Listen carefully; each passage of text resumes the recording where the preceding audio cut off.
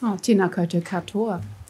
Uh, my name is Anna Marie White, Tātai Toura, Toi Māori Aotearoa, and it's my absolute honour and privilege um, to be chairing this panel here today with Rānui Ngārimu, a member of the Marsden Fund Research Group, um, who led the return of Te Rā successfully back to Aotearoa for us all to share uh, in today. And also uh, Jamie Tuta. Uh, and also Jamie Tuuta. It's hard to actually summarise Jamie because um, I've, I've, I've known Jamie for a very long time. Um, we went to school together, uh, and Jamie has had a very influential career as a leader uh, for our people in Taranaki. Uh, he holds many roles. Um, but yeah, has led us to a more prosperous um, future um, in our in our uh, rohe. So thank you, Jamie.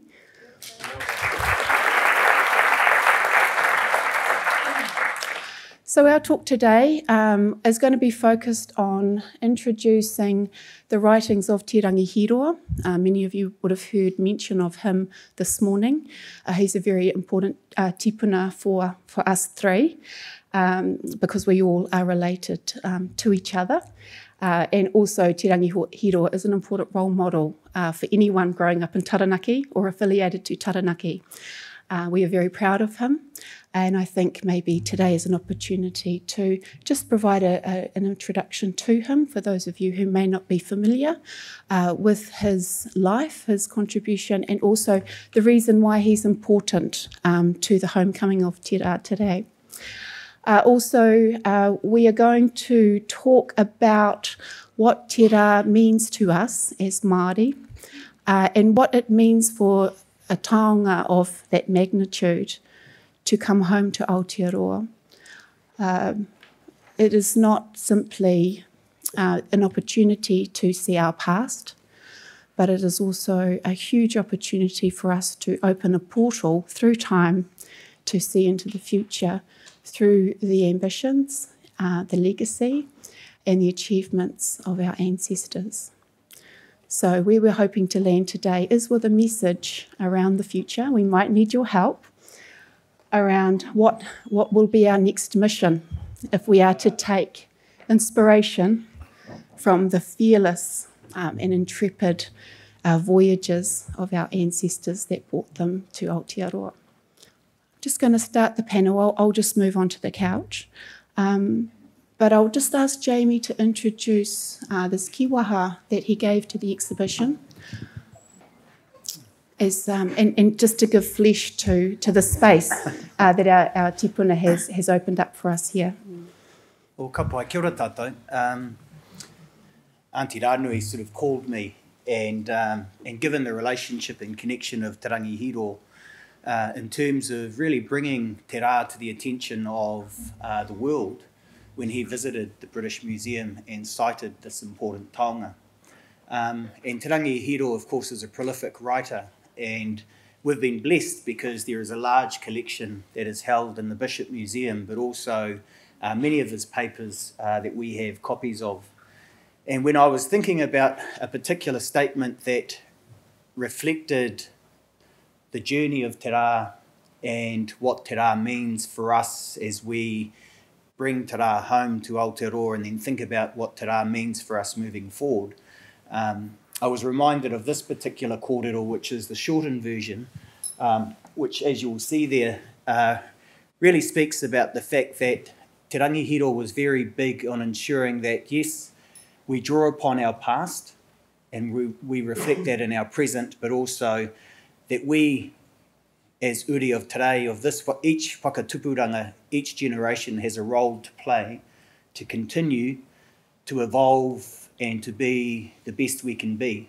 And so, um, and I love the statement. And John and I were talking on the pai pai because, you know, kaua mā te koroingo noiho, um, which is a unique sort of uh, phrase of Taranaki, which really sort of, when he, when he speaks about koroingo, koroingo is a deep uh, yearning and love that one has. And so that's his, that reflects uh, te koroingo ki ngā tupuna you know, that sort of respect, that admiration that we have for our ancestors. Um, and then it talks about the fact that we can't just rest on their laurels, that we have a role and a responsibility to continue. Um, and, you know, engari mā te wera wera. And it continues on, ka eke tātou ki ngā taumata mā te puku mahi, mā te ngākau nui, mā te manawa nui. And it says that, you know, yes, you've got to work hard, but mā te puku mahi, um, you know, success will only be attained if we work hard.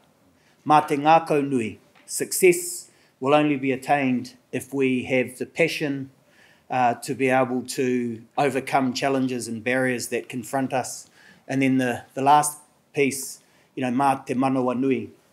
Um, manawa nui is sort of being determined and having courage to do things um, that at times no one else wants to do. And so I, I thought about this whakataukitanga kōrero. In Taranaki, we call them wakawai. Uh, wakawai. Um, it sort of reflects my auntie here in terms of um, the courage that she has had to embark on this particular journey. It reflects the sort of the ethic of Te Rangihiro, um, because he went to places that no other Māori had, had been before. Um, but I think it sort of reminds us of if we want to succeed in anything we do, um, then we mustn't be complacent. We must be focused and work hard. And I think, you know, what Tara brings us is that focus and that determination to further explore what Tara means for us in a modern contemporary context. Mm. So koera te kōrero. Uh, Jamie, I, I think um, it would be really good to just provide a short um, um, summary of, of Te Rangihiro's life. Uh, I found this great image of uh, Te Rangihiroa um, in the front here, uh, and his, uh, his mate, Āpirana Ngata. And they're uh, just down the road uh, at the 1906 International Exhibition in Hagley Park, contributing um, their, our culture uh, to an international exhibition. But we, but Jamie, tell us, tell us about um, Te Rangihiro, Sir Peter Buck. Where did he come from and, and where did he go? Well, Te Rangihiro came from Urenui. Hey. Um, and um, where we come, well, Ranui on her Ngāti Mutunga side. So, you know, he's from Ngāti Mutunga. And when I, when I think about Te Rangihiro, I think about him in the context of uh, the experience that his fire, his kuia, his koroheke experienced. And what sort of amazes me about Te Rangihiro being of Ngāti Mutunga is the fact that he is of a tribe uh, that has been fearless.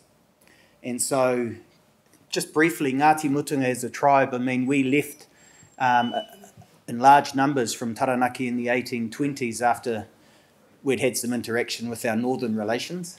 Um, and so, but at that time, um, our people came together and they made quite courageous decisions to leave en masse to head south to Kapiti, to Wellington, to the top of the south, and then eventually to Wharekauri. Now, when I, when I think about that in today's context, could you ever imagine moving an entire iwi grouping from one geographic location to another? You'd, you'd, you'd think it was impossible.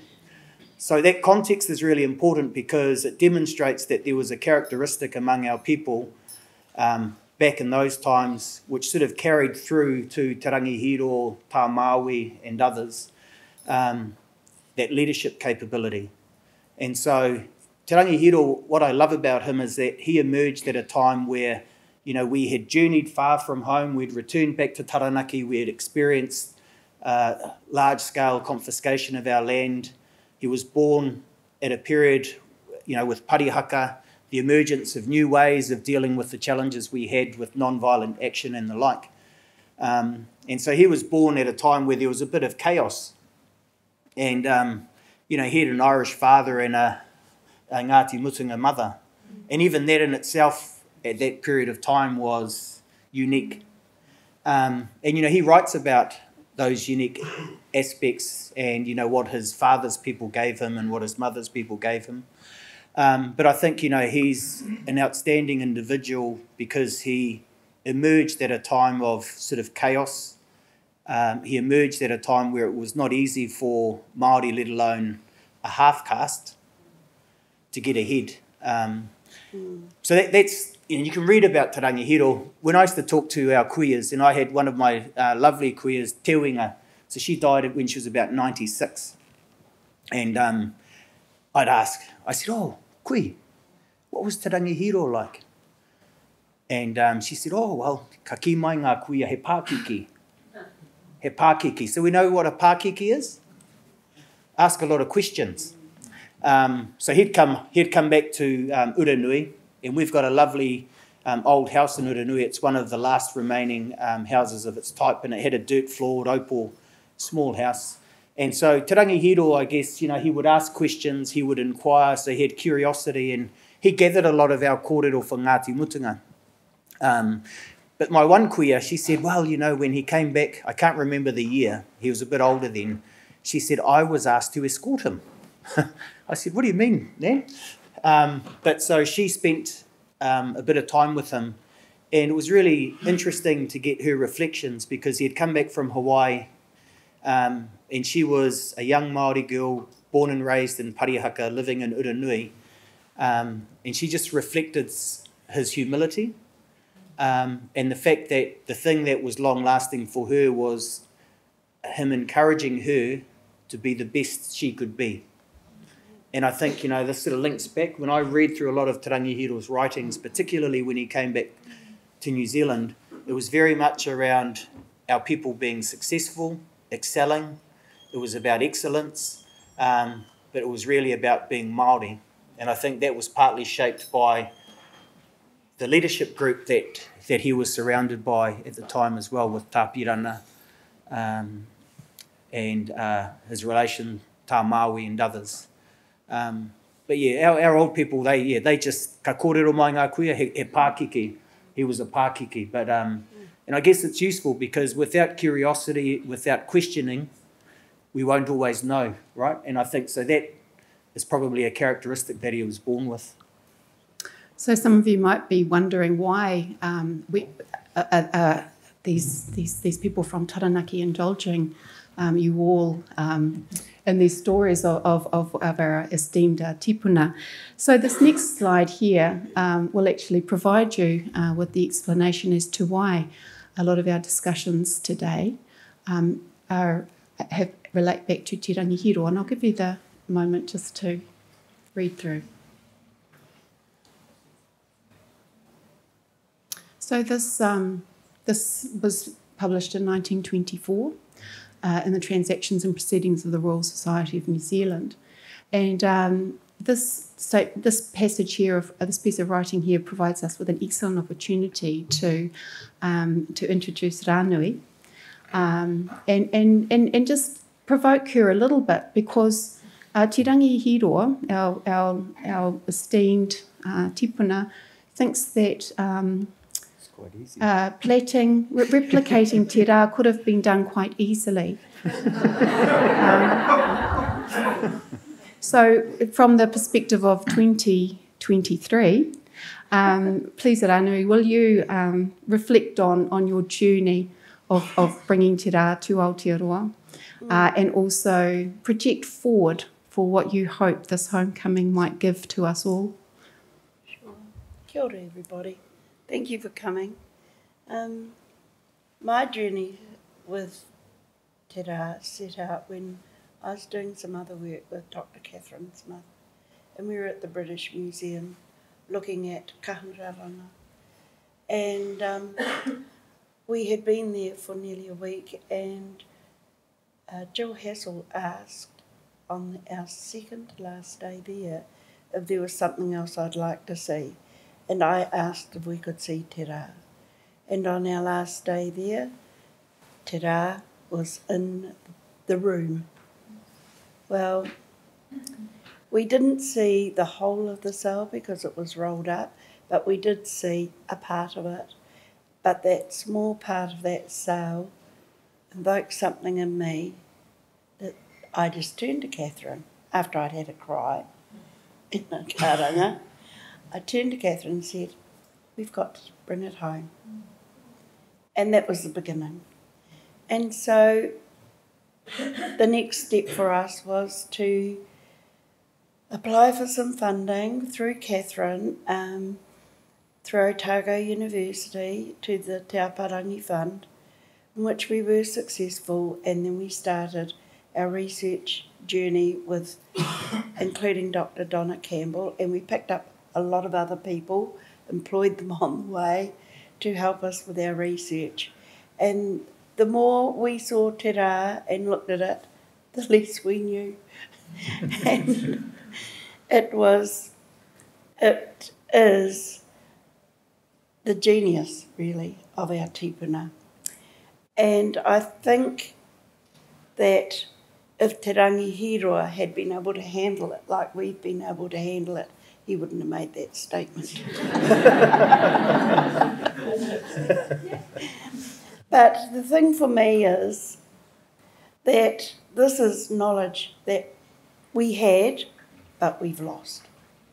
And so it is something that we need to keep working on to regain it or to um, be inspired by it and offer our solution to what we think we can do with te rā because we made some samplers. We had a hui at Arahura as part of our research.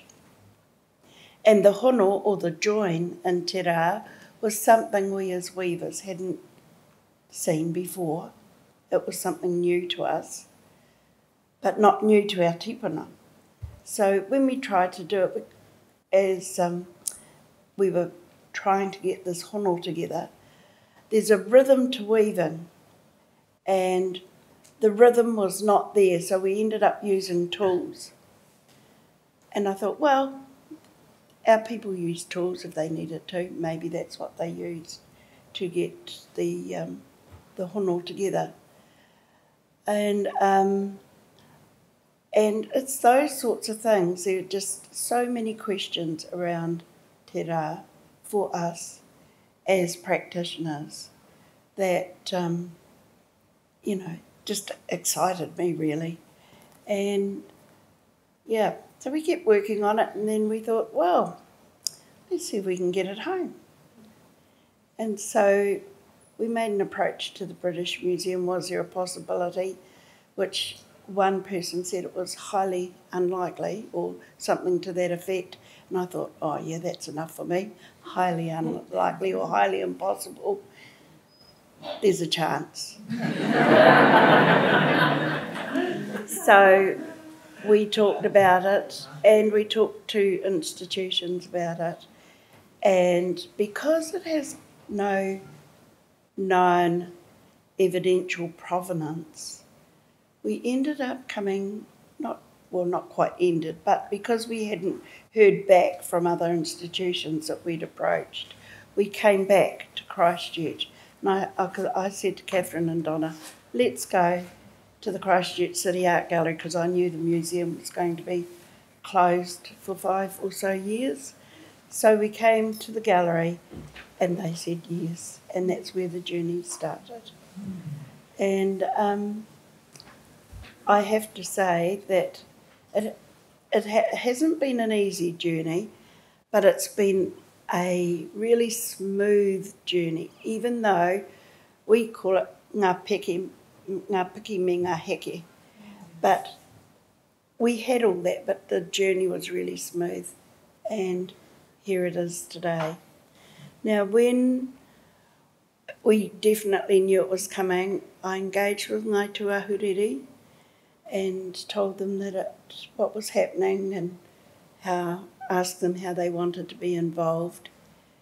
And um, they made the decision of how it was going to happen, and you saw that unfold today. Just glorious, really.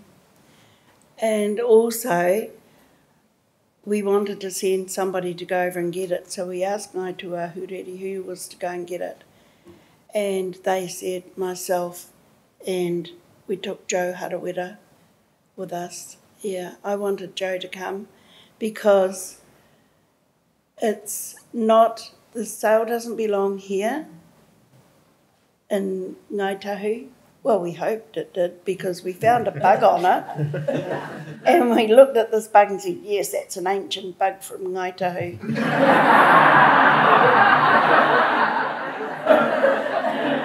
Turned out to be a carpet beetle from London.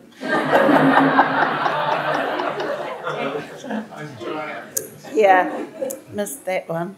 But anyway, um, so because there is no provenance, and because we were bringing it here to the south, I knew there were going to be eruptions from my cousins and friends in the north. And fair enough too. They asked the question, why down here?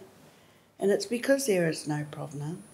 But I wanted to take Joe because Joe's well known across the motu and the work that he does, and to take us with me a, a Mata Waka representative. So I was grateful for Ngāi Tūāhuriri for um, supporting and uh, that decision. And so Joe and I went to um, the UK and met up with the staff at the UK and they were I was just overwhelmed with it. It was just so beautiful. The way that they had, uh, oh, we had, first of all, we visited Te Rā and we were joined by um, uh, Ngāti Ranana group and, a group and some people, Kahu and her cousin. Kahu works at Auckland Museum and her cousin were over there and they joined us too. So we had a lovely group there and we were able to, Joe was able to perform the rituals over Te and so the British Museum staff were then able to pack it up. And it came in a box that was 276 kilograms heavy, the box was, and Te weighs just under five kilograms. so you can imagine how beautifully and how preciously it was packed.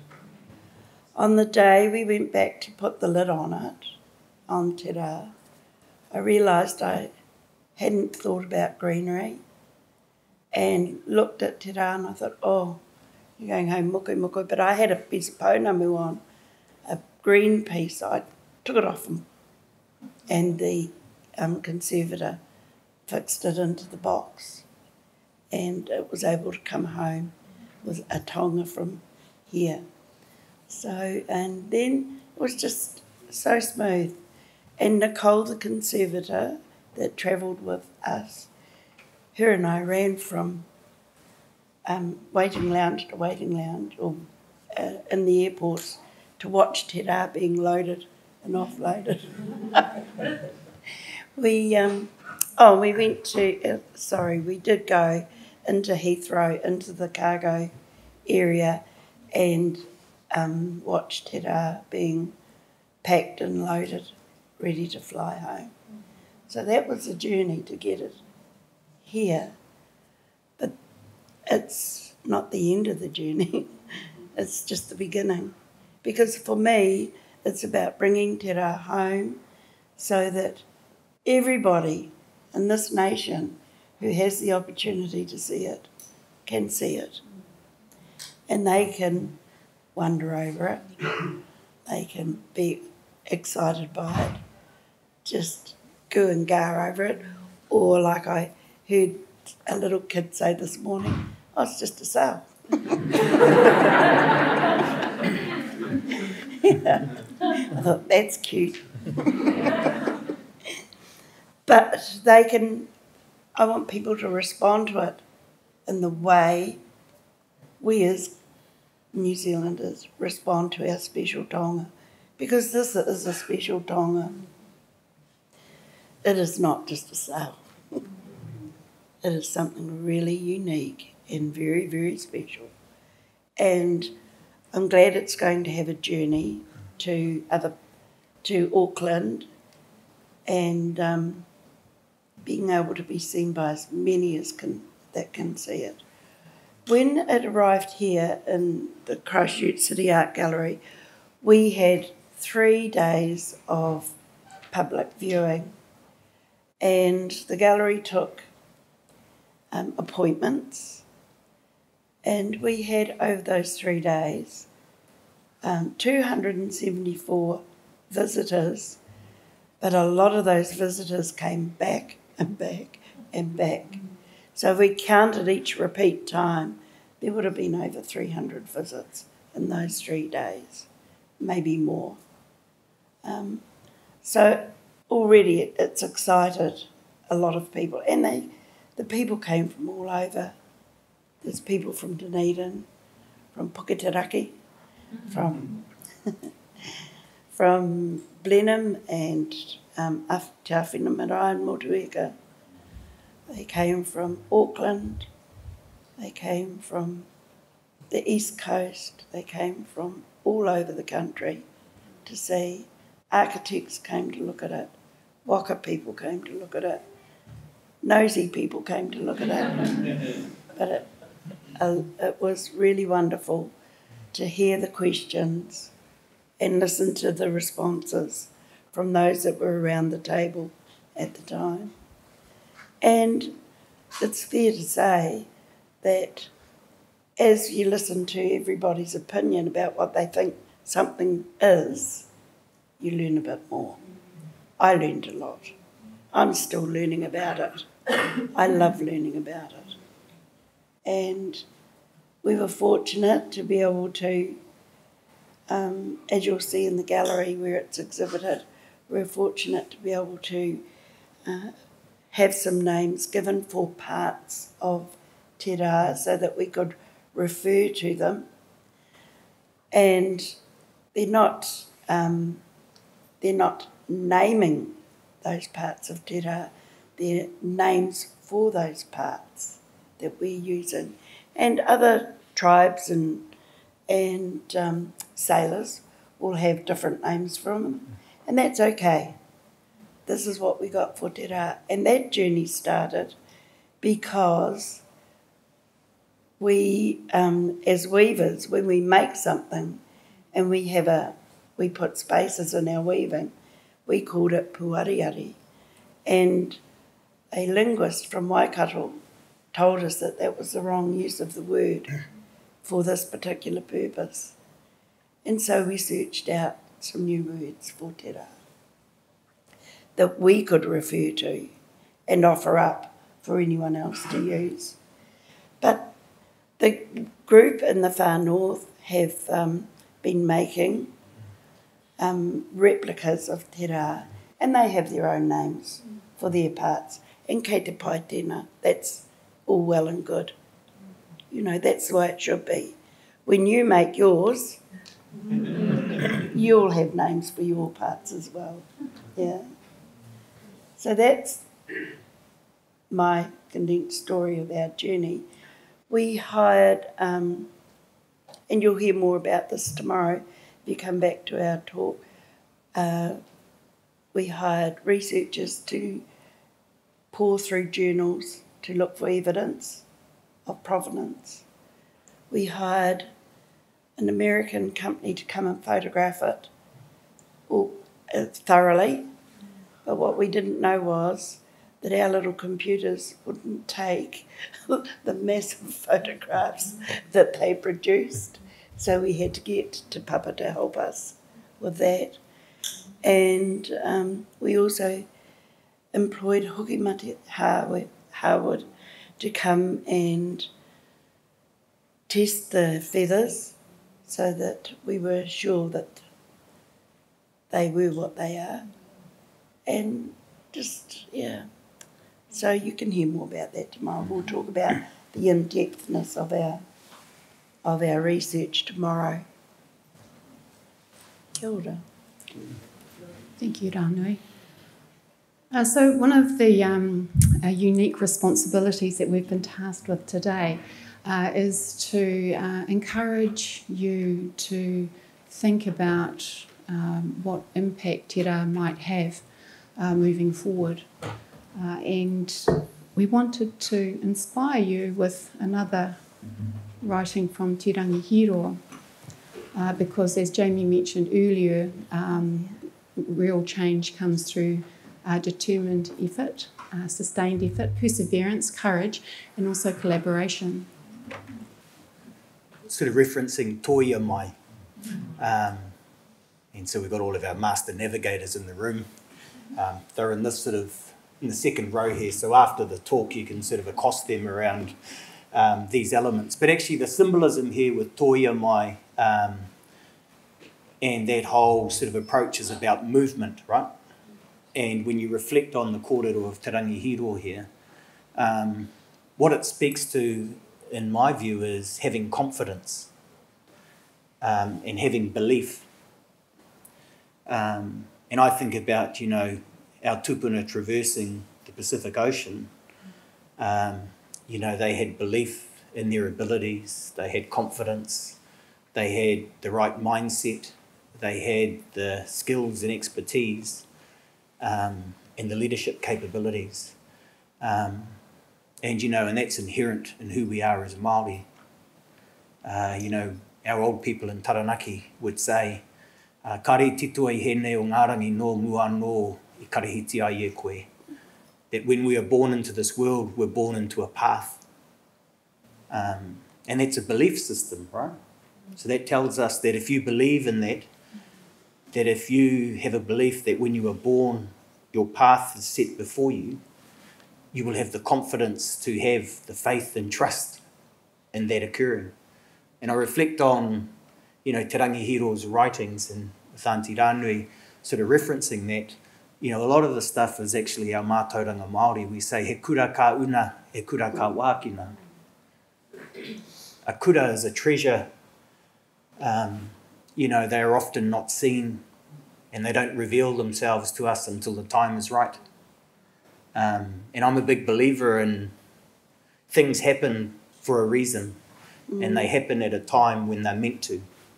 Um, and so I think, you know, this, it's a bit like what Te Hiro is saying here, you know, moving into the unknown. It's hard, you know, when you move into a space of the unknown, there's fear. You know, if, if we don't know, we, we as people like to know everything. Um, yeah? We like to know everything, you know, and, and some of us do think we know everything. but when you think about, you know, and the, for me, te rā, it, it provides an opportunity to explore um, old knowledge, which will be new knowledge because we, we are rediscovering that knowledge. Um, but it makes us think about um, what we might do differently from now forward. And I guess, you know, that's, that, that for me is, has been a challenge that Te Rangi Hiro has often sort of laid down. Um, and, you know, each of us individually have a role and responsibility. And so, you know, a call to action is always when you leave today, uh, what are you going to do differently? Uh, what might you talk to your whānau or your friends about your experience here with Te Rā? Um, because for me, Te Rā at this point in time is really about nation building. And that was the kōrero in our whai kōrero. And when we talk about nation building, it actually starts with acknowledging and recognising the place of mātauranga Māori, the first knowledge systems of this, of this land – Te rangi hiro would say, ki te, ki te whakarongo koe ki te reo o te kōhatu, ki te whakarongo koe ki te reo o te rākau, ki te whakarongo koe ki te reo o te moana, ki te whakareo koe, a, whakarongo koe ki te reo o te whenua. Ah, ko te whare kōhatu tēnā, ko te whare wānanga. He said, when you have the ability to hear and sense uh, the language of the land, the waters, the trees, the rocks, you truly have an environment from which you can um, experience true knowledge. Um, and so, you know, the kōrero this morning about at the Paipai and Te Rā, I think it just, Te Rā has brought us together. Um, but I think, you know, it's, it's really about how we might think differently and what each and every one of us might do. Um, and I look in the crowd I don't know, you might be all Ngāi Tahu, but you know, there's Māori and non-Māori. and iwi from around the country. I'm being provocative now, just. Um, but, but, but it's about nation building, right? and so, and it's, it's Te Rangi Hiro, his, his whole emphasis when he left New Zealand. You know why he left New Zealand? Do we know why he left New Zealand? Because he could never achieve, he could have never achieved what he did here in New Zealand. And that's not good enough. And so, you know, and so Te Rā, I think, you know, there's all these connections about, yeah, his kōrero. About how do we evolve and change as iwi, as Māori, but also as a country. So, koira, I think, you know, and, and I think the wonderful thing about the arts and toi and um, Hotu talked about what is toi Māori, mm. and that's a, another wānanga. Um, but, you know, certainly from my engagement and experience with toi, um, it's a very good way to shift um, mindsets and to inspire good dialogue and discussion on kaupapa. Mm. Mm. So, if uh, for any of you who might think that um, talking about an exhibition um, making a significant contribution to the state of the nation, um, this last slide here, which is not from the writings of Te Rangi Hiro, um, but does respond to um, a recent event, uh, which is very important to us all. It's a statement that was listed in the in the commentary for the Taonga Māori conference, which was held in 1990, our sesquicentennial year, uh, and was a, a sort of a, a, response or reflection to the impact of Te Māori. Uh, now, I think um, we should all be aware of the impact of Te Māori um, particularly for the relationship between Māori and Taonga and uh, the revolution that it caused in New Zealand museums. However, um, I've always been very um, alert to the fact that Te Māori was in what uh, what Kara Puketapu described as part of an international art offensive to create space for Māori to stand tall at home. So while Te Māori went over to New York, a lot of activity was uh, took place on the ground here. And when Te Māori came back in 1986, the space had been created for, for the Tū Tangata movement. Uh, now, we do need to pay tribute um, to Kara Puketapu, uh, who passed yesterday uh, and was mentioned this morning. So it's just uh, some just to provide some detail around that international art offensive.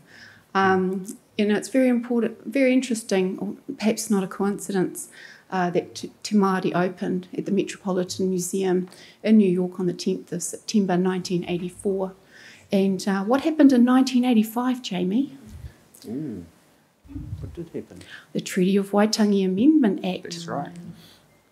Hmm. And then Te Māori landed back in Aotearoa for Te Hokinga Mai in 1986. Yeah. Mm.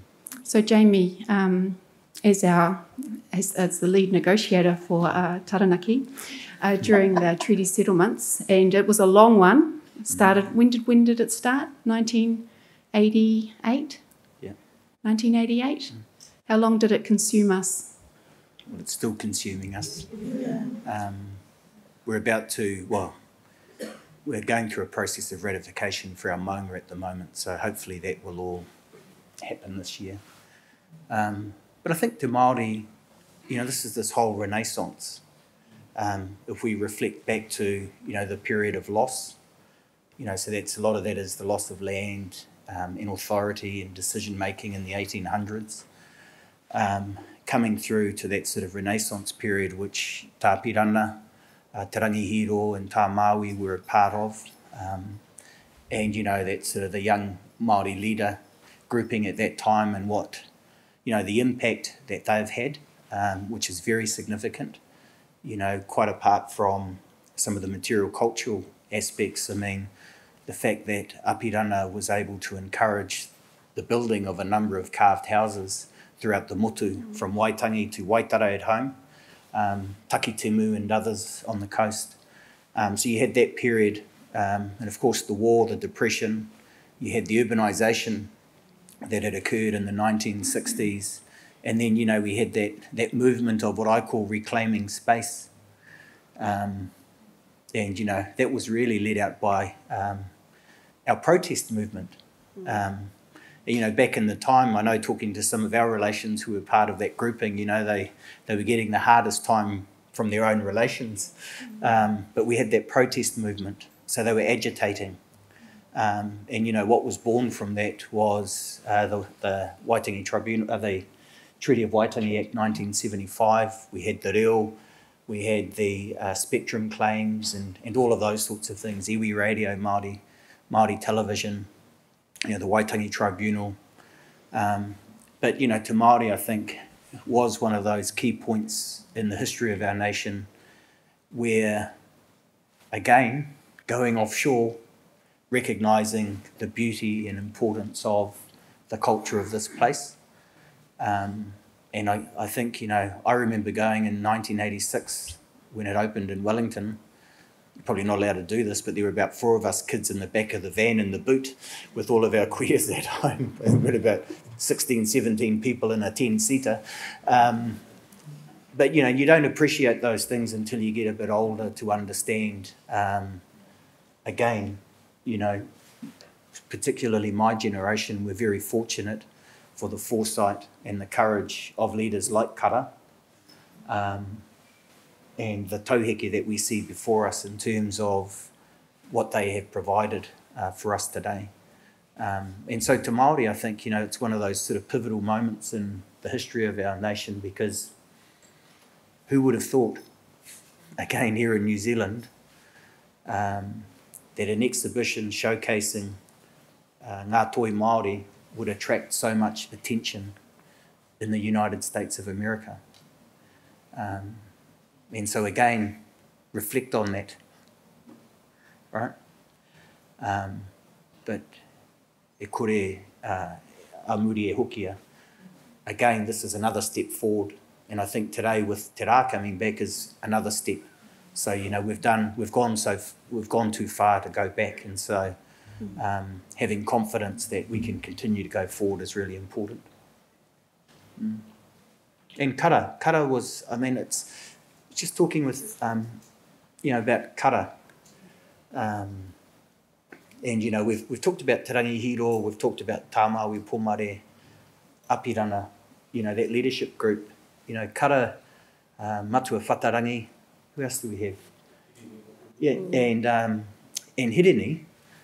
you know, when, when I think about those three and the impact that they had on Te Ao Māori mm. for their generation, um, outstanding you know, across both, you know, culture, Māori development and the arts. Um, and so I guess, you know, it's who's the next three or four, or is it something different for tomorrow in terms of how we continue that legacy? Um, but, you know, we often don't acknowledge the contribution that people make until they die. Um, and, you know, with, with Kara's passing, he's had a huge impact on Te Ao Māori. So we've we've we've put um, we've given you a big a big uh, responsibility here uh, to think about your futures. Are there is there any questions or comments that you'd like to share? Tēnā tātou, kia ora mai te whare ko te raroa, uh, kai whare tēnei mihi kautuana, tēnā rā, tēnā rā kōrua. I'm taken um, with the idea, Jamie, that you've reminded us that Te Rangi Hiroa went to Hawaii and then he came back. That the Te Māori exhibition toured the you know North America, excuse me, and then it came back. And the very important widow was posed to us this morning. Um, when will it be time for Te Rā to return and to come back permanently? Um, I think about the idea that uh, we can mihi to this taonga and as a, as a catalyst uh, for bringing people together and the feeling that it will be for it to return to the other side of the world. And I wondered both your thoughts about when the time will come for our taonga to be returned permanently. Oh, thank you. just a just an easy question. well, We've got some ideas though. You could just like someone said, make the replica. well, that um, you know, that's always in the back of our minds. But to get it home, we had to promise to take it back.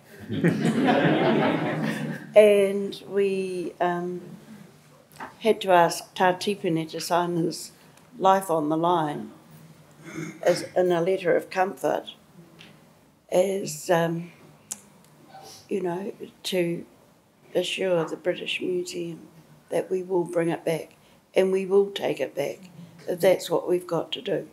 We will take it back because we're lucky to have it in the first place.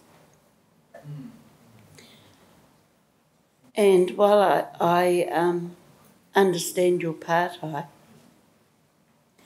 I don't want it to go back, but I will take it back. Yeah, I mean, I think for me, um, Te Rā is more than the physical taonga we have, right? Yeah. Um, and if we truly want to be a living, dynamic culture, then we take and we, we inspired by Tara, and Tara lives on through the practice, mm. the understanding, the learning of being able mm. to apply, you know, some of the hono or the techniques. Um, and so it would be wonderful for Tara to be housed in New Zealand, to be experienced by our young people in the motu. But I think the, the key thing for me is um, it's more than the physical object. Yeah. That actually, Tara for me is a bit of a reawakening around that mm. practice um, and, and challenging us to sort of continue that particular practice. Mm. So um, it goes back to Te Rangihiro's statement, kaua mā te koroingo noiho, because you can argue that by just resting on the fact that we've got te rā at home, it's all good.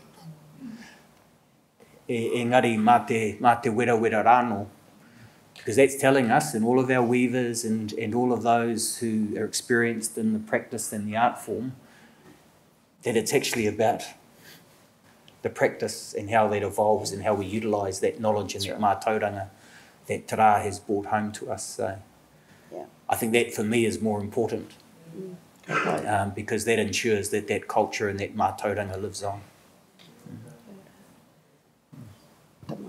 Oh, uh, kia ora tātou. Hoi no hei tāpiri atu ki nā kōrero uh, i ora hea ki nei te tepu nei uh, uh, ki te whakautua i tō pātai. Hine kura, um, look, I used to work for the museum uh, for Te Papa Tonarewa for 14 years, from 1992 to 2006.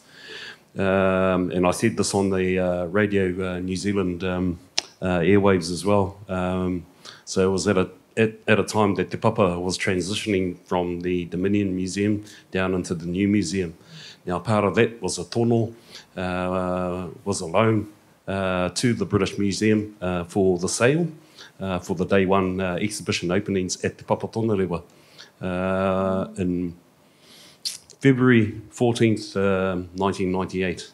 Um, so the loan was sent out on various occasions. Uh, it was always declined by the British Museum uh, because of the fact that they feared that if they were to give uh, the loan of the sail uh, to the National Museum, then we would have our um, our artists, our Maori uh, people that uh, would say, "No, leave that sail here." And so that that was one of the um, uh, concerns at the uh, at that particular time. Now we fast forward into 2023. Here we are um, at uh, the behest of a tohuna rārana whatu and also uh, the chair of He Awhi Tikana, Joe Harawira, uh, as artists going over to uh, negotiate with the British Museum to return the rā back uh, to us so we could see it in all its physical form. Um, and for our expert uh, navigators uh, and waka, kaupapa waka people uh, to comment um, as they are the practitioners uh, of the art form of using those sails. So I think um, it's a great um, opportunity uh, for us uh, to actually marvel at uh, what's what's been achieved uh, from that time uh, to now. So, um, yeah, I'm very grateful to the British Museum for allowing uh, us to actually see in person because it's hard to identify through photographs at the scale uh, of that sail. And just conversing with our Waka people um, this morning, uh, even they can't believe the um, the skill and technique uh, used to um, uh, create that sail. So just adding to the discourse of the, the discussion here. Kia ora. I think on that note, um, I would like to encourage you all to come to the Kaiwhakatere panel, uh, which will be held in this room at 2.30 this afternoon. Uh, we have um, our expert navigators uh, sitting on the panel today, and we're hoping that they will give us some insight uh, on what it means to be in the middle of the ocean.